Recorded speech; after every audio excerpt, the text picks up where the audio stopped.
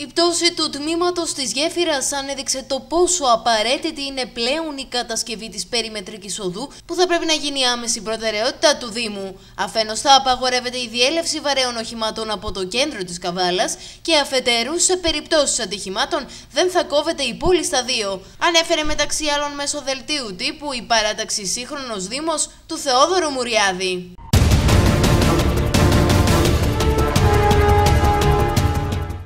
Ίδια στιγμή, υπέρ της περιμετρικής φαίνεται πως τάσεται και ο Πολιτιστικός Σύλλογος Χωράφας με την προπόθεση να διατηρηθεί το πράσινο. Ο Πολιτιστικός Σύλλογος Χωράφας είναι υπέρ της περιμετρικής διότι θα βοηθήσει στην αποσυμφόρηση του κέντρου, με την προπόθεση όμως ότι δεν θα επηρεαστεί ούτε το πράσινο αλλά ούτε και οι οικισμοί γύρω από αυτόν. Εγώ είμαι στο Σύλλογο από το 1990 και είμαι και από την αρχή που είχε ξεκινήσει να γίνει περιμετρική.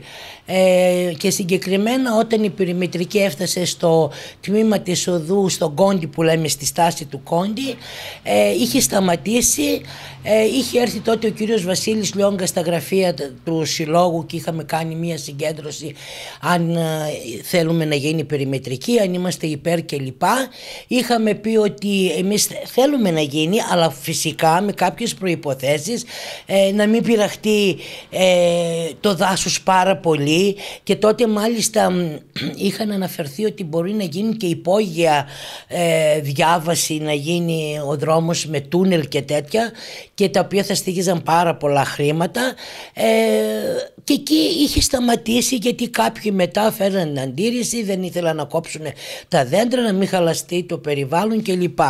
Η ομορφιά του δάσους. Φυσικά και ο σύλλογος μας είναι ένας σύλλογος που είναι υπέρ του δάσους και περιβάλλοντος. Ε, όμως μετά σταμάτησε ε, το θέμα αυτό. Πριν τέσσερα ή πέντε χρόνια, πέντε χρόνια νομίζω, πάλι είχαμε κάνει μια συγκέντρωση στη στάση του Κόντι και μαζεύτηκαν και άλλοι πολλοί, ε, όχι μόνο ο σύλλογος ο δικός μας, και άλλοι φίλοι του δάσους, κάποιοι άλλοι μου φαίνεται οικολόγοι ήταν, δεν μπορώ να θυμηθώ και καλά. Και πάλι ξανά βγήκε το θέμα της περιμετρικής ε, και τότε είπαμε εμείς πάλι ότι να γίνει περιμετρική είμαστε να να, και μας, μας είχαν πει ότι θα πάνε από τα πλατανάκια και θα κατεβεί την περιοχή από τα πλατανάκια και θα κατεβεί κάτω στο Περιγιάλι.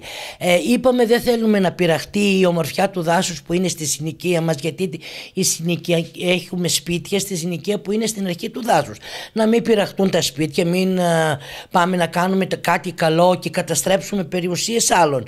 Ε, και πάλι εκεί σταμάτησε. Είπανε ναι να γίνει περιμετρική για να γίνονται τα πανηγύρια του δάσους και περιβάλλον της χωράφας.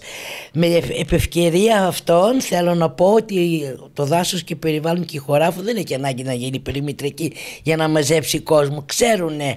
Αυτό λίγο με, έτσι, με κακοφάνηκε που το γράψαν μερικοί. Πού προήλθαν αυτά τα κακόβουλα σχόλια; Ε, δεν θέλω να πω γιατί αυτοί που θα το ακούσουν θα καταλάβουν. Την ίδια στιγμή την τοποθέτησή του σχετικά με την περιμετρική οδό έκανε γνωστή ο τέος νομάρχης Θεόδωρος Καλλιοντής κατά τη διάρκεια της ενημερωτικής εκπομπής on κάμερα. Τότε ψηφίσαμε δηλαδή. Ψηφίσαμε στην περιφέρεια. 13 εκατομμύρια ευρώ. Με οριστική ένταξη. Για όσους καταλαβαίνουν και νομίζω όλοι καταλαβαίνουν τι, τι λέω. Για να γίνει το έργο της περιμετρικής, το υπόλοιπο προέβλεπε τούνελ 300 και μέτρων. Μάλιστα. Εάν να βγείτε εσείς κύριε Ταραπάτση και ο κύριος Κομνός και ορίεστε ούτε ένα δέντρο να μην κόψει. Πού θα πάει να κόψουν οι εγκληματίες δέντρο ή θα κόψουν χίλια δέντρα. Θα καταστρέψουν το δάσος.